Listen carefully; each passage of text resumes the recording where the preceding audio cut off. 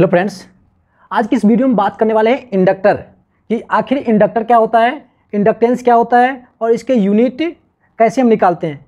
तो चलिए हम पहले बात करते हैं कि आखिर इंडक्टर क्या होता है। यहाँ डिफिनीसन देखेंगे इंडक्टर का तो डिफिनीसन लिखे हैं कि an inductor is a passive electronic component that store magnetic energy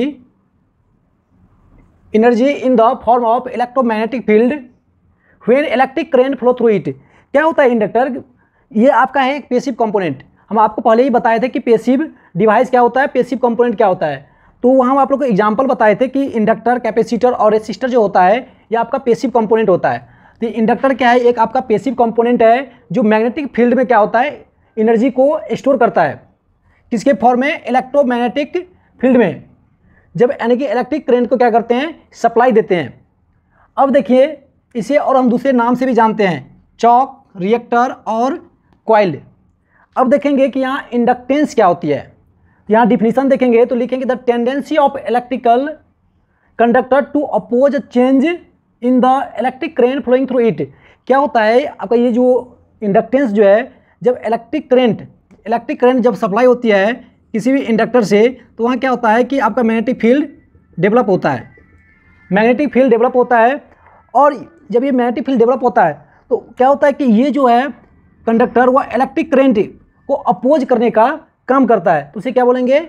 inductance यहाँ दूसरा भी डिफिनीसन आप लोग देख सकते हैं। मैथमेटिकल तौर पे आपका एक डिफिनीसन और देंगे अभी जस्ट यहाँ क्या लिखेंगे? It is defined as the ratio of the voltage to rate of change of current ये जो आपका ई जो है, आपका ये इंड्यूस्ड ई है और ये आपका D I upon D T ये आपका क्या है? Rate of change of current इसका जो रेशियो जो होता है, इसी को क्या बोलते हैं? इंडक्टेंस और इसका ये यूनिट जो होता है, आप लोग यहाँ देख सकते हैं यूनिट तो यहाँ यूनिट जो लिखे हैं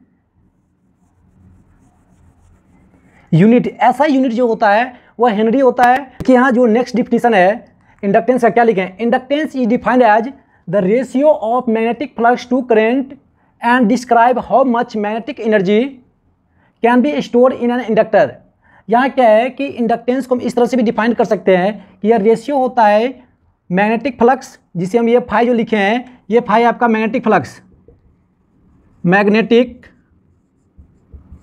flux magnetic flux और जो करेंट जो आपका इंडक्टर में पास जो हो रहा है, उसका रेशियो होता है। उसे क्या बोलेंगे?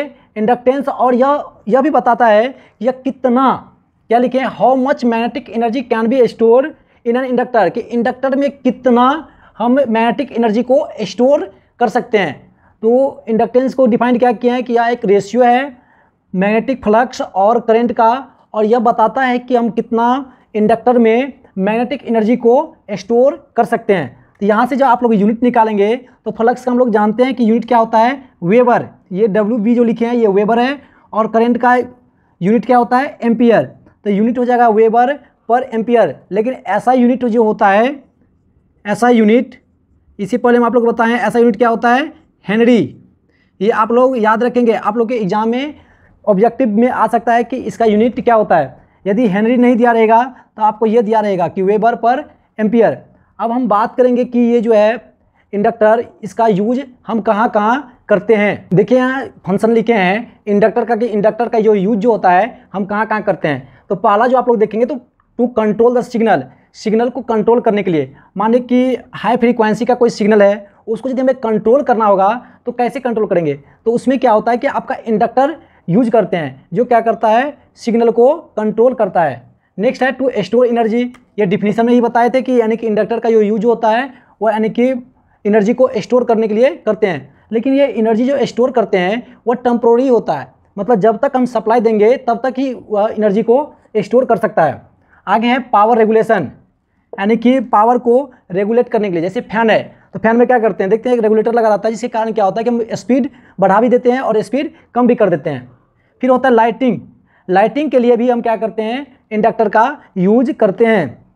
अब देखेंगे लो नॉइज़ ऑपरेटिंग सिस्टम मतलब नॉइज़ करने का मतलब क्या होता है, शोरगुल।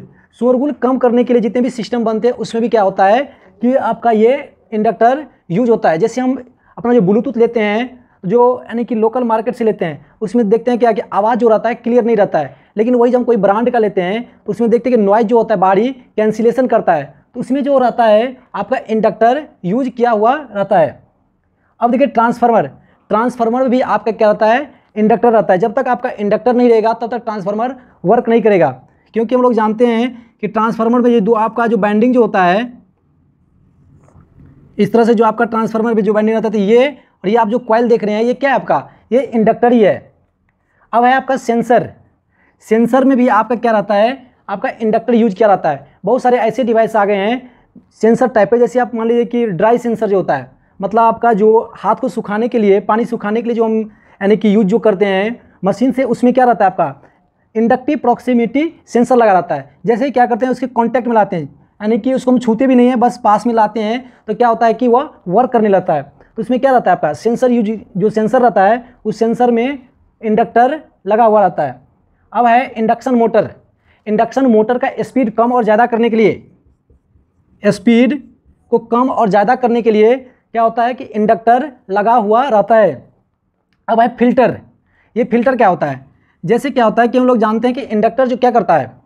आपको एसी से डीसी में कन्वर्ट करने के लिए हम क्या करते हैं कि इंडक्टर का भी यूज़ करते हैं। आप लोग आगे जाके जो थर्ड सेमेस्टर में जाके पढ़ेंगे एलसी फ़िल्टर ये क्या है कि इंडक्टर और कैपेसिटर मिल करके आपको क्या करता है, यानी कि फ़िल्टर करने का काम करता है। अब है रिले रिले में भी क्या होता है, आपका इंडक्टर का यूज़ किया जाता है। रिले क्या होता है, ये एक प्रोटेक्टिव डिवाइस होता है। जैसे मान लीजिए कि कोई आगे फॉल्ट होने वाला है, या फॉल्ट हुआ तो उससे पहले रिले क्या करता है कि आपको यानी कि इंडिकेट कर देता है। तो वह क्या करता है कि रिले आपको प्रोटेक्ट करने का भी काम करता है। तो ये है आपका फ़ंक्शन ऑफ़ इंडक्टर यानी इंडक्टर का कहाँ कहाँ यूज़ है। अब हम इसका सिंबल छूट गया सिंबल बताते हैं, और इसका ग्राफ किस टाइप का होता है, वो हम देखेंगे। कि यहाँ सिंबल किस तरह का होता है? सिंबल जो रहता है, आपका इस टाइप का रहता है, यानी कि वायर रहता है, और वायर जो रहता है आपका, इस तरह से मेढ़ा हुआ रहता है, जो यहाँ देख रहे हैं। अब हम बात करेंगे कि जब हमारा इंडक्टर चार्ज होगा और डिस्चार्ज होगा तो उस केस में उसका ग्राफ किस टाइप का होगा। देखिए, जिस समय में क्या होता है कि आपका इंडक्टर जब आपका डिस्चार्जिंग रहेगा तो डिस्चार्जिंग के केस में, यहाँ चार्जिंग लिख दिए यहाँ जो डिस्चार्जिंग के केस में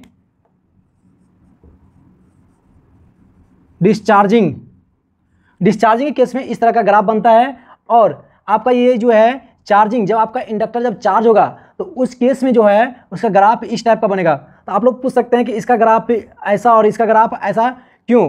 ये देखिए, ये आप लोग के डिप्लोमा के लेवल पर इतना ही काफ़ी है, क्योंकि जब इसका हम पूरा डिटेल में जानेंगे, तब जाकर के आपको पता चलेगा कि इसका ग्राफ इस टाइप से क्यों बना और इसका ग्राफ इस टाइप से क्यों बना। था आप लोग के सिलेबस में बस इसका इंट्रोडक्शन दिया है कि इंडक्टर क्या होता है कैपेसिटर क्या होता है रेसिस्टर क्या होता है। लेकिन फिर भी हम आप लोग के लिए ज़्यादा ही लेके आते हैं ताकि आप लोग जब एग्ज़ाम देंगे एक्सटर्नल का तो वहाँ आप लोग के लिए सफिशियंट कंटेंट होंगे। तो ये था आप लोग का इंडक्टर क्या होता है इंडक्टेंस क्या होता है यूनिट कैसे निकलता है और इसका जो है सिम्बॉल और ग्राफ कैसा कैसा होता है। तो आप लोग यदि इंडक्टर पूछे कि इंडक्टर क्या होता है तो आप लोग वहाँ डिफिनीसन लिखेंगे और जितने भी नीचे जो पॉइंट लिखा हुआ था, सारे पॉइंट आप लोग लिख देंगे तो आप लोग को फुल मार्क मिल जाएगा।